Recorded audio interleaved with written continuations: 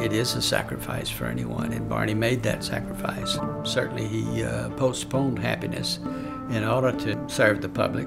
One time I stopped and I said to him, How much time do you put on your, this job?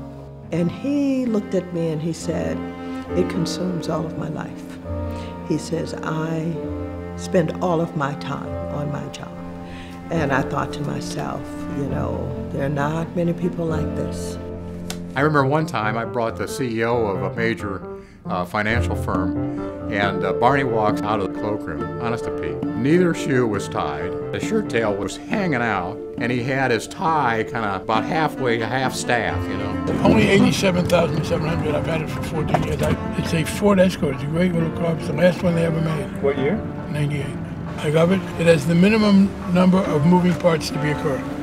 No, nothing's automatic, which means nothing can get broken. Joe has accomplished a very significant feat.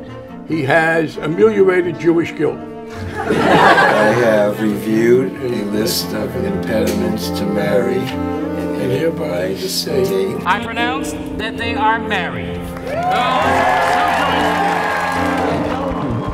And if you love Congress, love people who make a difference, you gotta love the guy. He stood for people and fought for people who needed someone like Barney Frank to stand and fight for them.